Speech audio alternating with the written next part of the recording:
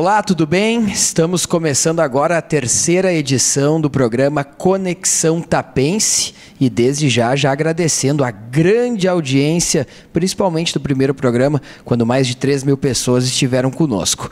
A proposta desta terceira edição é justamente conseguir responder as perguntas e demandas que ficaram de fora destes 45 minutos que a gente fez aquela transmissão ao vivo. Por isso, trazemos novamente aqui no estúdio da Lagoa TV, nesse programa em parceria com a Prefeitura de Tapes, o prefeito Silvio Rafael, no qual eu começo dando uma boa tarde antes da gente começar com as perguntas. Tudo bem, Silvio? Tudo bem, Walter. Boa tarde ao, aos telespectadores da Web TV. É, de novo aqui para responder as perguntas dos, do, do, pessoal que paga o imposto e que quer o seu serviço. Então, mais do que nunca, estamos aqui cumprindo com a nossa obrigação que devemos com, com a pessoa que nos sustenta no processo. Bom, eu já vou começar fazendo uma pergunta, mas é uma dúvida de muitas pessoas que mandaram pelo WhatsApp, pelo Facebook da Lagoa TV, Lagoa dos Patos TV.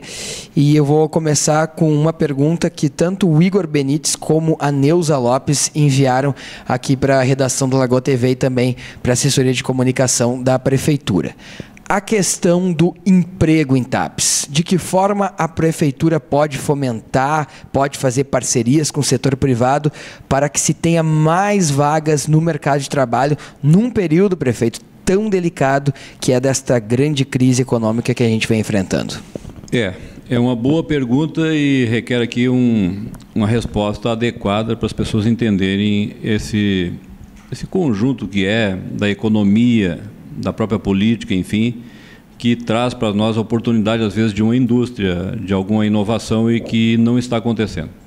TAPES, é, voltando à história, nunca teve o pleno emprego. Né? Várias pessoas de todas as idades aqui sabem que tiveram que sair fora para trabalhar.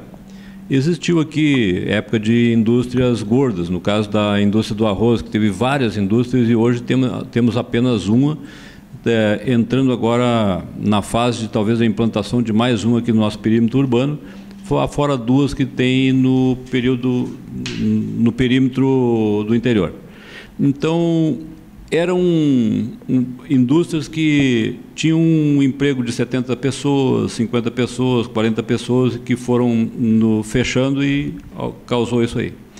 Na, na área calçadista, nós tínhamos, tínhamos aqui é, muito porque veio lá na época do Enon em Campo Bom, trouxeram para cá uma, uma fábrica calçadista que instalou em Barra do Ribeiro, TAPS e até, se não me engano, Camacuã, que era Schmidt Irmãos.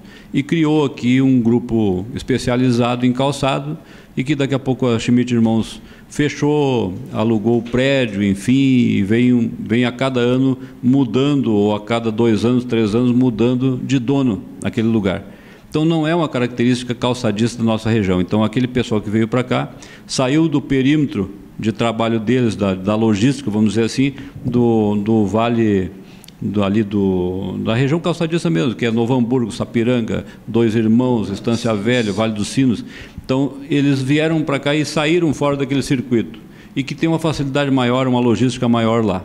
Então nós temos uma dificuldade de atrair essa indústria para vir para cá. A gente tem um plano, um belo de um plano de incentivo que não foi nosso agora, foi criado lá atrás, que é o Proder, que é uma maneira de incentivar as indústrias para se instalar em TAPS. Então, tu dá uma ajuda de custo de ou energia, ou eles usam para pagar o aluguel. É um convênio direto entre a prefeitura e a empresa, cumprindo aquele trâmite legal que é ter o número de empregados, de, de fornecer aqueles empregados todos os subsídios necessários. Então, é por isso e que a gente passa nesse momento por uma dificuldade muito grande de trazer emprego para cá. Então, estamos sempre nessa luta, nessa vontade que é a de vocês de ter o pleno emprego. Eu mesmo fiquei fora, oito longos anos longe da minha família, porque não tinha um emprego aqui, eu fui procurar a 600 quilômetros daqui.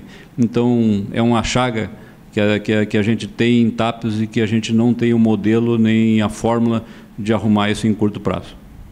facebook.com.br Lagoa dos Patos TV. Estas perguntas vão sendo feitas e a gente vai respondendo aqui de acordo com os programas. A outra pergunta que chega é da Michele Graboski, que fala o seguinte: Prefeito Silvio Rafael, como será feita a iniciativa entre poder público, privado e também com os moradores ali da região de Nova Tapes para a revitalização daquele campinho que está sendo preparado por lá?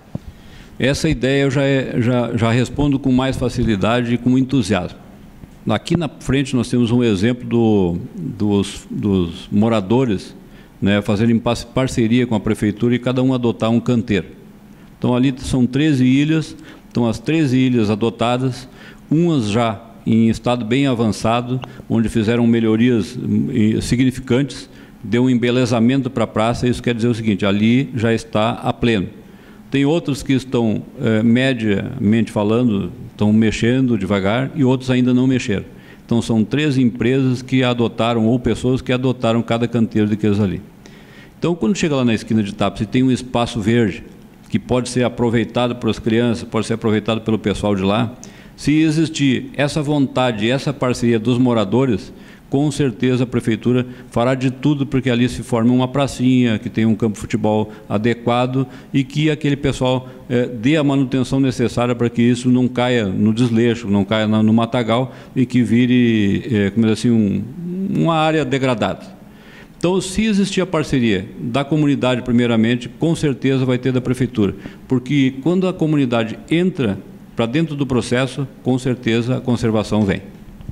A última pergunta para finalizar essa terceira edição do programa Conexão Tapense, ela vem do Matheus e ele quer saber o seguinte: ele está vindo aqui para Tapes agora nesta semana para o carnaval, vai vir curtir, vai colocar a sua cadeirinha, vai trazer a sua família.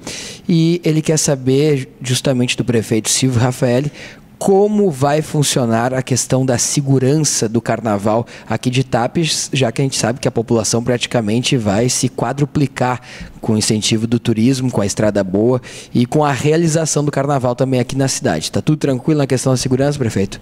Tudo tranquilo. Tu sabe que a pressão, a gente às vezes tem que fazer a, a, boa pressão política. Nós já interagimos nesse aspecto e conversamos inclusive com o assessor do governador porque existiu o risco aqui da segunda ou terceira noite de diminuir o policiamento. E aí já foi liberado, o governador prontamente interviu, já conversou com o comandante, vai ter aí o policiamento necessário. Afora ainda a gente vai ter os, os agentes da, da iniciativa privada, aí, que, é, que é uma vigilância que ganhou a licitação, serão mais de 40 agentes na rua, e mais os policiais contando ainda com o sistema que o Derli Júnior da Sistemix vai propiciar aqui, que seria o monitoramento por câmeras, que ajuda muito nesse momento. Então, toda a tranquilidade do mundo para o pessoal vir para o carnaval, curtir o carnaval e sentir de fato um carnaval familiar. Então, eu, eu estou muito tranquilo, é, torcendo, claro, para a população vir para a rua, porque esse momento é tão importante para a TAPS, é tão importante para o comércio e tão importante para aquelas pessoas que mexem com o carnaval o ano todo.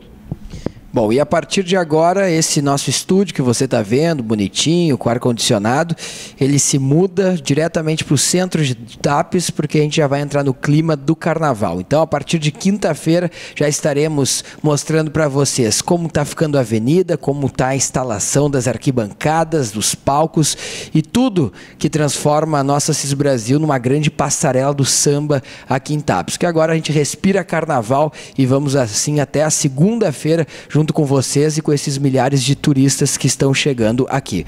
Muito obrigado, Silvio Rafael, uma boa tarde a todos e nós voltamos amanhã respondendo mais dúvidas e perguntas. Pode deixar sua pergunta, também pode deixar a pergunta no teu Facebook, eu vejo que tu responde bastante, né, prefeito? Pode deixar pode... lá nos comentários. É um canal de interação, é usado para trabalho e inclusive eu não deixo ninguém sem resposta. E a gente conversa, discute e chega sempre a um denominador comum. Essa é a democracia, esse é o jeito jeito, o meu jeito de fazer política, é o meu jeito de governar amplamente, abertamente, para que a população possa contribuir, inclusive, com a administração. Então, uma boa tarde a todos. Boa tarde.